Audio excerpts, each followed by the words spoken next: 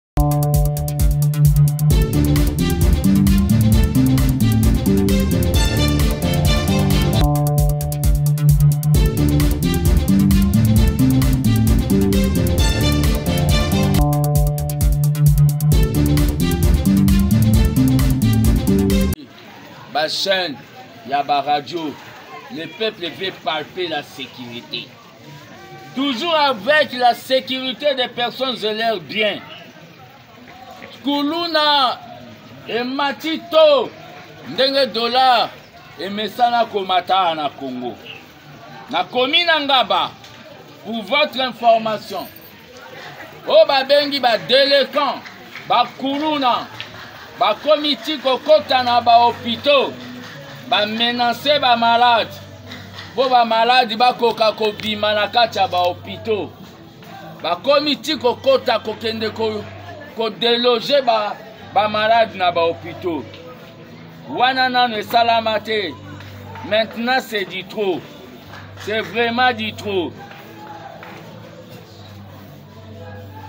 Le VPM de l'intérieur doit prendre oyo babengi baresponsabilité na ye tant que baba de la jeunesse congolaise je propose qu'on puisse créer oyo babengi brigade anticriminelle bague brigade anticriminelle bague dans le but ya commettre babandi kuluna wana hors d'état de nuire. Dans le but ya commettre bango hors d'état de nuire. Parce que la vie des citoyens n'a pas de prix.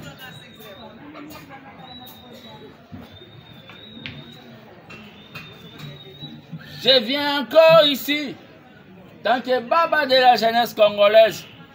déplorait incident oyo esalamaki na palais du peuple oyo groupe ya baindividu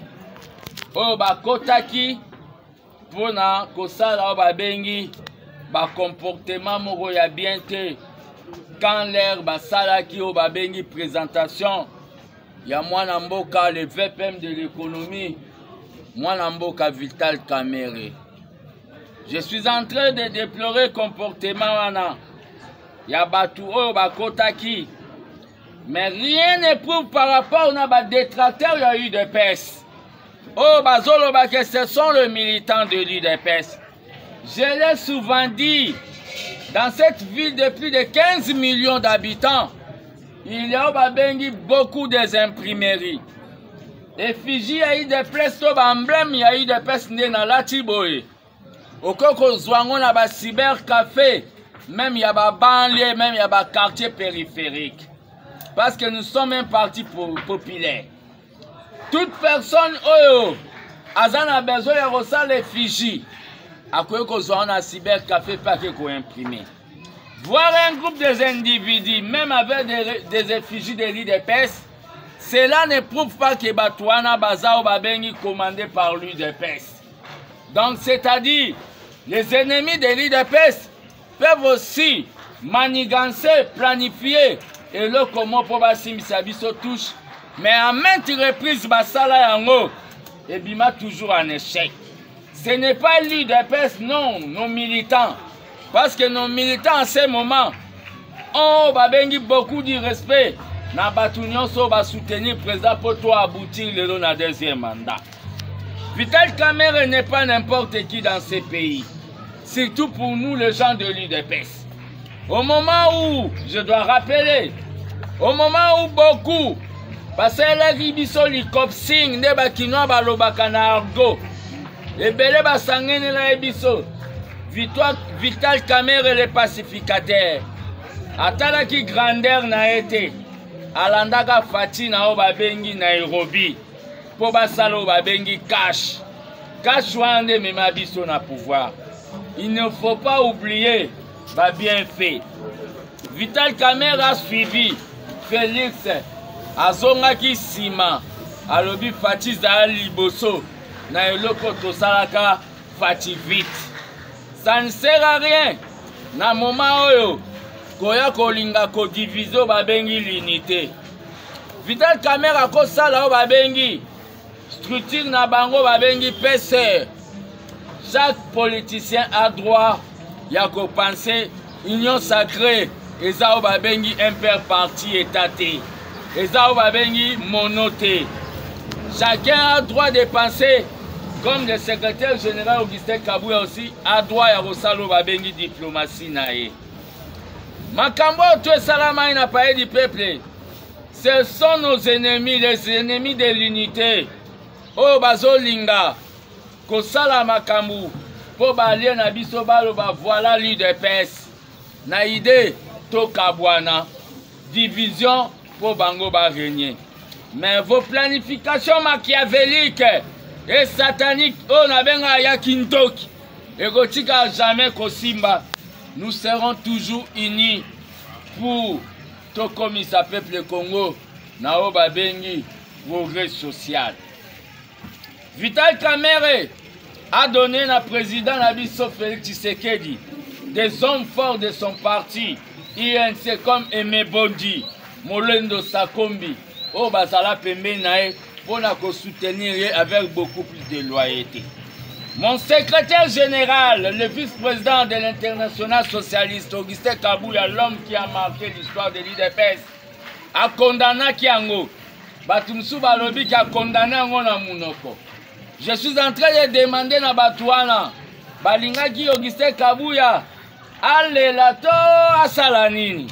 il a condamné oyo babengi acte wana oyo esalamaki na niveau ya palais du peuple na moment oyo je suis, je suis venu encore tant que baba de la jeunesse koyebisa na opinion ça ne sert à rien d'aller sur les réseaux sociaux ko se faire nommer informateur jusque là badepute nyonso tomonaki na rentrée baza nano babengi provisoire nde baza wana rien ne prouve nanu baza mpo cour constitutionnelle nanu elobi te le président n'a pas encore nommé oyo babengi l'informateur gardons notre souffle biso armée de baptise tisekediste na observation tosalaki na politike oyo esalami na 2023 nous allons décerner na oyo babengi d'ici la, la semaine prochaine oyo nazoloba diplôme de mérite moka kozwa ya bachisekediste na augustin kabuya parce qu'il nous a donné oyo babengi majorité oyo nano tozwa te na basikle ya baelektio eleka akozwa diplome ya moko akozwa tokopesa su diplome na oyo babengi mwana mboka chekmen shabani oyo azwi asali ete tanke directeur ya campagne toconserve pouvoir tokopesa ye mpe oyo balobi diplome ya moka kozwa tokopesa mpe na oyo biso tolobi mpo basi mpe bakosanga te Madame Patrician Seya, oyo aza collègue na nga na présidence du parti oyo Tshisekedi le père atika, oyo asali excellence ya basi ya IDPS na CENI, ye mpe akozwa diplome de mérite. Na yango nazoyebisa na bato nyonso bagarde souffle na bango par rapport lelo eza le premier lelo eza le premier c'est un grand jour un grand jour oyo idps eperdaki maître nango toperda ye na oyo babengi 2017 lelo ezosala oyo balobi 7 ans ketien tisekedi mon père politique akufaki ezala surprise ezala mawa mais à je vous demande de vous prendre en charge de continuer le combat de faire l'unité du parti de conserver le pouvoir de conquérir le pouvoir et de conserver père Etienne Tisekedi, nous avons fait l'unité du parti nous avons conquis le pouvoir. Nous avons placé Félix Tshisekedi au pouvoir. Et nous avons conservé le pouvoir. maintenant, c'est le deuxième mandat. Mais je viens à ce jour parce que les morts aussi parlent. Les morts aussi influencent les choses. Communique de manière spirituelle à mon président. Parce que cette fois-ci, il n'a pas besoin des flatteurs vis-à-vis ya entourage na ye communique à mon président que cette fois-ci akoka kopense na bafamille oyo baperda bapapa na bango bamama na bango bana na bango na champ de bataille ya combat démocratique communique à mon président que cette fois-ci que le peuple a palpé oyo oh, babengi le progrès social le progrès social oyo eyalaki parmi oyo oh, babengi baprojet de société na biso père etienne tshisekedi nous continuons le combat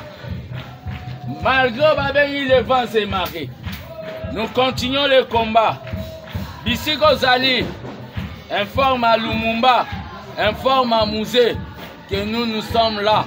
que Nous allons vaincre Paul Kagame. Nous allons vaincre ce qu'on appelle les ennemis du Congo. Toujours na makambo oyo etali poste électorale période poste électorale naye kolobela oyo babengi situation oyo ekomi kobushe biso boreille oyo ekomi kosala biso mabe conflit oyo bazolinga bamemela biso na kinshasa je vous avais déjà dit tant que prophète politique La ville de Kinshasa eza neti berceau place oyo babengi bebe alalaka esengaka makelele te bebe wana eza oyo babengi l'institution président de la république makambo oyo ezolinga ebanda osalama makambo oyo ezolinga ebanda osalama entre gentini ngobila golden poi na jekoko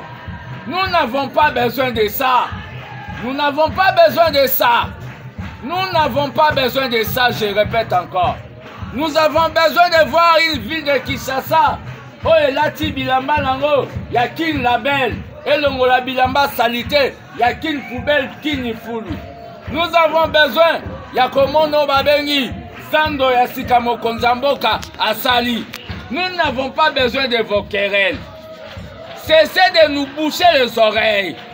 Cessez de nous boucher les oreilles. Et je viens ici. Koya koloba oyo ayibaki. Koya komanipule ba journaliste mpo baloba oyo ayibaki.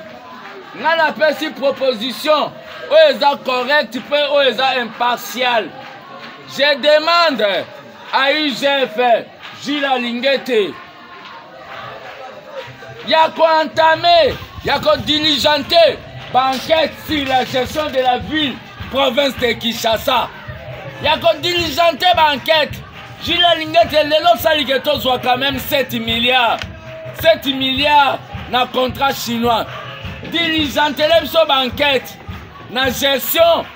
yango babengi ville de kinshasa kobanda likolo ntina bazando ya bakartier mpo toyeba nani toyeba bato baliaka mbongo soki nango eza ya bango biso tu toza bana kini te eloko bosala tomoni te soki bino bokomisa kongo lokola cope na bino soki bino boya babolikango na balumumba bakolo cope na bacombe toyebi te donk bino nde boza bokosala bilanga te nde kabila asalaka ya bino eza nde cope ya kongo biso bayuma na bino nga mokonzi ya mboka tanke gardien du temple baba de la jeunesse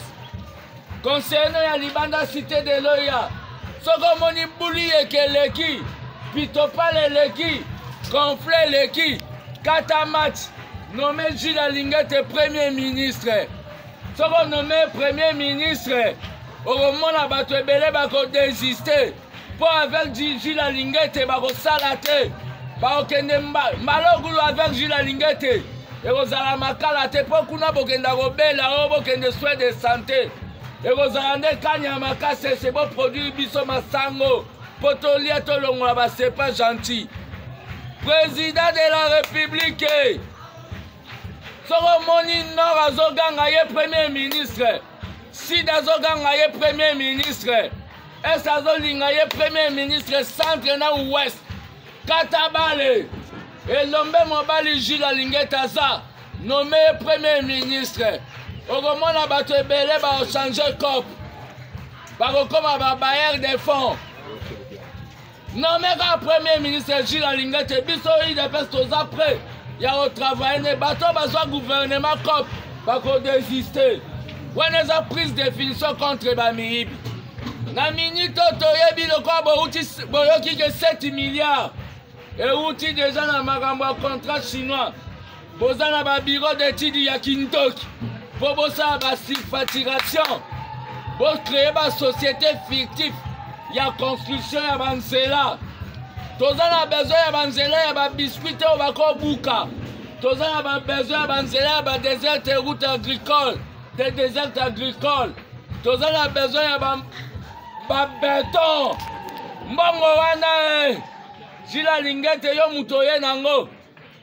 yebisa mokonzi ya mboka botyela yango deya tribinal moto akoyiba ifo tobimise na mpwasa bana ne bayebake papa na bango azalaka dilera mbongo ya kongo alaka moyibi to ifo balakisa eske le boyibaka mbongo ya mboka boyokaka soni te mwana na yo mpe ake na universite me na mboka kuna papa bango ayiba ye mbo boyokaka soni te bino bozwaka ba 50 000 ba 21 000 bato mosusu bazwaka oyo babengi ba 100 dollar lokola mboka yango bino nde bokenda kosenga independance na belgique oke kuna bato oyo bakendaki ezalaka bapatrice na babolikango na bacombe bino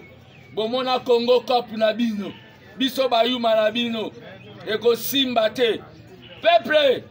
lamuka paske bato oyo kimoyibi eleki toyebi bino makambo bozosala basiplia na bino daa botie basi na bino baonclelete na bino na badeuxième femme na bino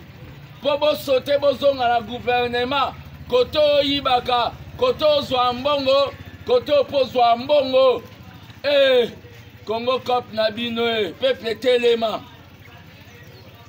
nayebisa bino ke ya mbala oyo naza na bino tembe na tembe peple somba agenda mpo nasilisa somba agenda komaka bacompte randi oyo ya conseil des ministres mpo tolandela bato oyo mokonzi ya mboka na ye lisusu guvernema oyo ya mbala oyo eza guvernema ya travail nazokontinue kopropose conseil des ministres deux fois na semaine ozwaka mbongo ebele oyaka kaka vendredi conseil des ministres le reste ya bajour oza na baboite na bapiknike mokonzi ya mboka basalaka mardi bakoti conseil des ministres oyebisi bango bokende osala boye vendredi otuni bango osalaki nini so asali te olongoli ye toboyi mpe baguvernema oyo babengi ya nsoko ba gouvernement mo elastique ba 60 ba nini te toboyi gouvernement ya milai milai bakange suki ya maboko mpo kuna mindele bakoka kokanga suki ya maboko te quel gaspillage na mbongo ya bacongolais biso tolobaka biso toloba mambo ya kongo mpo kongo mpe eza ya biso na makambo ya kongo peti aza te vie mpe aza te eza nde masolo ya mboka donc ndenge na minute oyo nazoloba ko ngai na bino tokokani wewe matata mponyo lobaloba lelo suki wapi validation de mandat félicitation na baoyo babengi badepute oyo babimi na parti ya iranium ya oyo babengi moïse katumbi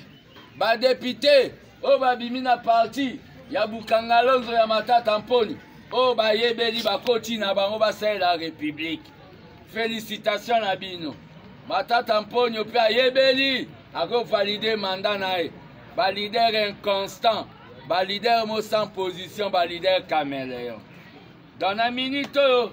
match eza bien peuple azolinga mona oyo babengi basi priorité ya mokonzi ya mboka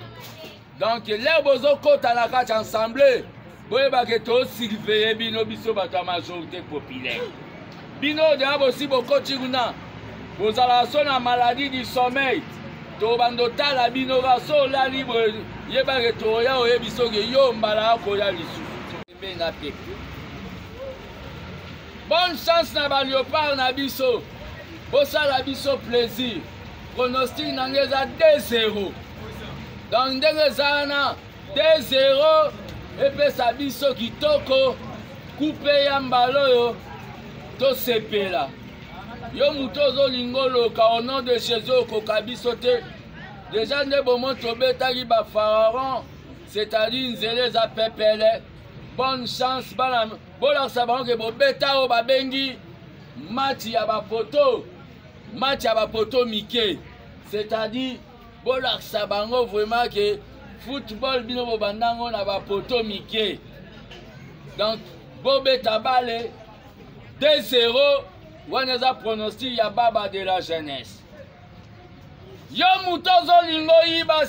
na mbongo oyo eye 7 milliard oso oyoki 7 milliard okomi olingo créer entreprise pondu ya construction